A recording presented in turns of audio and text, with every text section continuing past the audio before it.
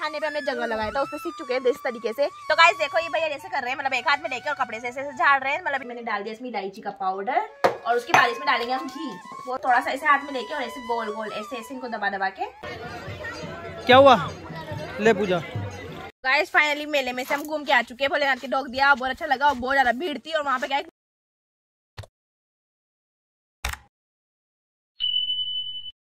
Good morning जैसे कि आप लोगों ने हमारा पिछला ब्लॉग देखा होगा हम गाँव आए थे महाशिवरात्रि के लिए। तो महाशिवरात्रि है आज जैसे कि आप लोगों को हैप्पी महाशिवरात्रि। तो आज हम बनाएँगे दाल बाटी चूरमा। मैं आपको पूरी रेसिपी दिखाऊँगी इस ब्लॉग में तो ब्लॉग को स्किप मत करना और बहुत फन करेंगे बहुत मस्ती करेंगे और आपको सिखाऊँगी मैं मतलब राजस्थान का जो प्रसिद्ध फ़ूड है ना दाल बाटी चूरमा लड्डू भी बोल सकते हैं आप उसको। तो आपको दिखाऊँगी सबका फेवरेट होता है हमारा तो बहुत फेवरेट है। तो आपको बताऊँगी मैं यहाँ पे और कैसे बनता है और खा के बताऊँगी कैसा बना। तब बने ये ब्लॉग में। आपको पता है इसे ये बनाती नहीं है इसने मतलब मेरी बुआ के साथ बनाती है तो इसने देखा है। मतलब मैंने सीखा है थोड़ा थोड़ा आता है मुझे। तो थोड़ा थोड़ा ये बनाएगी और अभी हम थोड़ा सा हेल्प करवाने के लिए मेरी बुआ का लड़का भी बुलाया कॉल करके तो वो भी आएगा। तो तो ये दोनों मिलजुल के बनाएँगे। हाँ तो आप लोगों को बनाते हैं। अभी फ़िलहाल तो है ना देखो बहुत तेज हवा चल रही है। और गाँव के देसी तरी, देसी तरीके से बनाएँगे छाने में और वही चूल्हे पे मतलब बहुत अच्छे से और देखो प्रोसेस भी चल रहा है। देखो उधर दाल दाल चढ़ी हुई है और उधर बाटी सेकने के लिए वहाँ पे जगरा लगा रखा है। छाने का जो बनाते हैं उसको जगरा बोलते तो यार जल्दी से बनाते हैं। अभी हम हमारे गाँव पास के गाँव में ना मेला भी लगता है महाशिवरात्रि का तो वहाँ पे भी जाना है तो महाशिवरात्रि तो फुल एंजॉय करेंगे और आपको पूरा ब्लॉग देखना स्किप नहीं करना। और अगर पहला वाला ब्लॉग नहीं देखा तो जाके हमारे चैनल पे आर एस पे देख लो। तो जल्दी जल्दी बनाते हैं ओके ओके बाय तो गाय सबसे पहले बाटी की और लड्डू की मैगी करूँगी उसके लिए मैं आटा चाल रही हूँ तो फटाफट से आटा चाल लेती हूँ मैं और मैं सबसे पहले बाटी का आटा गूंदूँगी उसके बाद हम लगाएँगे लड्डू का आटा। मतलब आटा नहीं लगता, उसका मतलब आपको प्रोसेस बताऊँ कैसे होता है, ऐसे ऐसे पानी डाल के ऐसे करते हैं तो अभी पूरी वीडियो देखना, आप तब उसमें पता चलेगा आपको। तो यार इस रानू ने बाटी तो बना दी है और इधर है ना, लड्डू जो है ना तो लड्डू बनाने के लिए पहले तो ये सीखते हैं। तो इनके वो जो अपने राजस्थान भाषा में गद्दे मतलब क्या, दगे है ना? दगे हाँ गद्दे या मेरे मुँह से, मेरे को भी नहीं आता ना, दगे बोलते हैं, ठीक है? तो रानू को इतना बनाना नहीं आता, ये फ़िलहाल इसने थोड़ा बहुत सीखा है और ये मेरी बुआ का लड़का है तो इसको अच्छे से बनाना आता है क्योंकि घर पे भी यही बनाता है। तो कॉल करके मैंने जैसे वीडियो बनाता है वीडियो में बताया था कि वो आ रहा है तो ये आ गया और अभी ये है ना, रानू रानू और ये दोनों मिलके और मेकिंग कर रहे हैं। तो गाइस देखो बॉयज़ हो के इनको आता है, मुझे नहीं आता और वैसे मैंने बोला था आपको, ऐसे ऐसे करते हैं तो देखो, ऐसे करते हैं, ऐसे पानी डालते हैं और ऐसे ऐसे हाथ को हिला हिला के ऐसे ऐसे करके। और फिर भैया कर रहे हैं, जैसे हाथ पे ऐसे मसलते हैं ताकि अच्छे से भी मूड लग जाए मूड लग जाए। हाँ। अच्छे से मतलब ये मिक्स हो जाए इसमें। फिर इसके बाद इसके है ना गोल गोल ऐसे बाटे की तरह मतलब बड़े बड़े हाँ, बाटी होती है ना ऐसे बांधने बड़ी बड़ी। फिर इनको- सेकेंगे छाने में। सेकेंगे। फिर आगे आपको बताएँगे बाद में।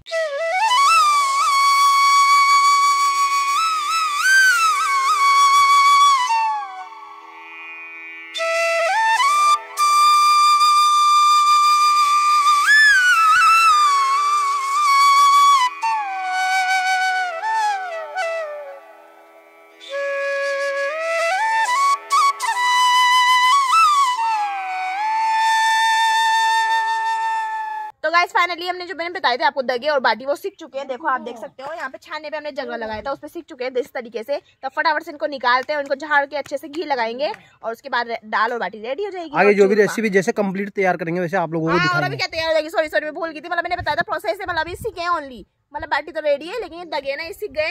अब इनको सीखने के बाद अभी प्रोसेस करेंगे तो आपको दिखाऊँगी मैं कैसे क्या करते हैं। उसके बाद लड्डू फाइनल रेडी होंगे, फिर आप देखना और देख के बताना भी कैसे लग रहे हैं दिखने में। तो गाइस देखो ये भैया जैसे कर रहे हैं। मतलब एक हाथ में लेके और कपड़े से ऐसे झाड़ रहे हैं। मतलब इनकी जो बानी लगी हुई है चारों में जो मिट्टी लगी हुई है ना मतलब मिट्टी है बानी। तो है ना, इनको हटाएँगे, उसके बाद इनको ऐसे फोड़ के इसमें रखेंगे। उसके बाद आगे बताती हूँ, आपको क्या करेंगे। तो गाइस फाइनली इनको वहाँ से लेके आ गए हम आग में से। तो अभी देखो, इनको बारीक कर दिया और ये जो ये लौड़ी है इसे मैं इसे दूध दूध को बारीक करूँगी। और है ना, इनको बारीक करने के बाद भी और इसमें ना चाल रहे हैं, जैसे भैया चाल रहे हैं और बारीक निकल रहे हैं। ना, जैसे बारीक निकल रहा है ना, ऐसे बिल्कुल बारीक करना है इनको दूध दूध के और चाल चाल के। बिल्कुल बारीक हो जाएँगे ना बिल्कुल बारीक जैसे चूरमा जैसे मिक्सी में अपन ग्राइंड करते हैं वैसे। उसके बाद इनको ऐसे ऐसे करके इनमें पहले सामान मिलाया जाएगा। पहले तो बहुत सारा घी डालेंगे, फिर ये जो ड्राई फ्रूट्स है मतलब पिस्ता वगैरह डालेंगे, उसके बाद गिर्री डालेंगे, इलायची डालेंगे, उसके बाद खोपरे की गिरी डालेंगे। और ये क्या बोलते हैं? बूरा। बूरा डालेंगे इन सबको मिला के और फिर मिक्स करेंगे अच्छे से। उसके बाद छोटे छोटे लड्डू बांधेंगे। और अगर आप चाहो तो इनको लड्डू बाँध के भी खा सकते हो। और आप ऐसे खुले मतलब बिखरे हुए ऐसे चूरमा भी खा सकते हो। तो जैसे आपकी इच्छा हो तो लड्डू पसंद है तो लड्डू बना के खाएँगे। और जिसको नहीं बनाना आता वो डायरेक्ट कांटेक्ट कर सकता है लाडू हाँ, सॉरी है इनको आप दे सकते हो अगर टेनर देना चाहो तो। हमारी गाँव की भाषा में लाडू विकास बाटी मीना जार वाला बार बार हाँ विकास मेरा बार बार इनका अलग अलग होत होती है। हमारी गाँव की भाषा में लाडू हाँ बाटी और एड्रेस क्या है आपका? वो, में तो आप टेंडर दे लड्डू बाटी का अगर आपको चाहिए मज़ा कर रहे हैं ये तो बस हमारे घर घर पे बनाते हैं। वो ऐसे मज़ा कर रहे थे। देखो तो अभी तो कंप्लीट तैयार कर रहे हैं फिर मिलते हैं। तो गाइस फाइनली हमने इनको बारीक कर लिया था बिल्कुल और इनमें ना ये जो ड्राई फ्रूट्स है वो मिला दिए। मैंने अब इसमें डालूँगी मैं इलायची बिल्कुल बारीक कर ली मैंने दूज के और ये मैंने डाल दिया इसमें इलायची का पाउडर और उसके बाद इसमें डालेंगे हम घी। बहुत सारा डाल चुके हैं हम अब थोड़ा सा और ऐड कर देती हूँ मैं। और ये गैस के अंदर घी। तो गाइस देख रहे हो ना आपके लिए मतलब स्वादिष्ट लग रहे हैं देखने में भी हो रहे ना मतलब मेकिंग हो रही है अभी ऐसा लग रहा है खा ले उठा के तो फटाफट से अभी अभी नहीं खा सकते अभी इनको अच्छे से मैं इनको मिक्स करेंगे अच्छे से पूरे अच्छे से मिक्स हो जाएँगे इनमें गिरी बूरा और ये काजू बादाम घी वगैरह इलायची इलायची उसके बाद इनको छोटे छोटे लड्डू बांधेंगे उसके बाद लड्डू बाटी और क्या बोलते जो दाल। चूरमा हाँ जो भी। सब खाएँगे साथ में भोग लगाएँगे पहले भगवान के।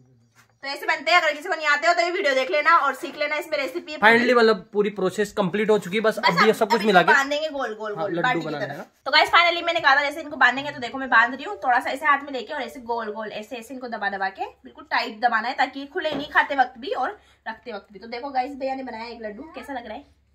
ऐसे बनते हैं आगे पानी।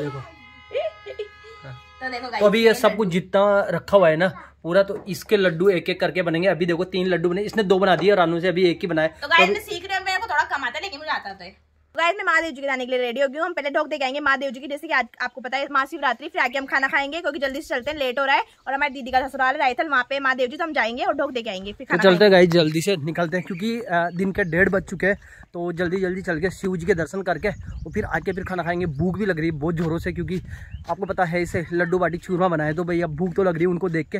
तो सबसे पहले तो क्योंकि रानू मना कर दिया तो सबसे पहले तो चलते हैं शिव जी के और शिव जी के दर्शन करके आते और आप लोगों को भी थोड़ा बहुत वहाँ पे घुमाते हैं कि कैसा मेला लग रहा है गाँव में कैसे मेले लगते हैं, कैसे नहीं लगते, बहुत सारे क्या सिटी से भी देखते होंगे ना तो उनको तो गाँव वालों को तो पता है ऐसे कि गाँव में कैसे मेले लगते हैं शिव जी के तो छोटा सा मेला लग रहा है तो चलते जल्दी से और फिर मिलते हैं। तो यार गाइस फाइनली मेले में आ चुके हैं और देखो, कितनी भीड़ है मेले पे, यहाँ पे इतनी सारी भीड़ है। और ब्रो तो बस सब बढ़िया। तो रानोर भी आ रही है मेले में, चलते हैं। और आगे भाई नहीं इधर, शिव जी ने पूजा वगैरह ले ली है और बहुत सारी दुकानें लग रही है। सामने शिव जी का मंदिर है। तो ये ऐसा कुछ गाँव का मेला है और रानू तो भी जाने का आँख हो गई? वो आ गई हाँ? कौन? हाँ। एक मिनट खुले। बस बढ़िया। और? सब बढ़िया? सब बढ़िया। डोग जाऊँ जा रहा ना? क्या हुआ? ले पूजा। यार गाइस चलते हैं। देखो मूंगफली वगैरह अंकल जी मूंगफली वगैरह बेच रहे हैं। बहुत सारी दुकानें लग रही है। और ये जस्ट शिव जी का मंदिर है। तो चलते हैं जल्दी से। हाँ ब्रो तो जल्दी से डोक वगैरह दे लेते हैं शिव जी का फिर मिलते हैं। लो।